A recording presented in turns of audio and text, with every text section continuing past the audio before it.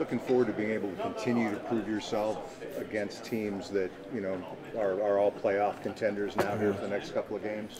Yeah, we just got to play who's on our schedule, honestly. So I mean, we definitely have a tough road. Um, you know, finishing the, the, the, the season, but um, we just got to go out there and prepare. You know, like it's our last game. So that's really this really is just play to our standard and uh, understanding. You know, we got to challenge every every time we step on the field.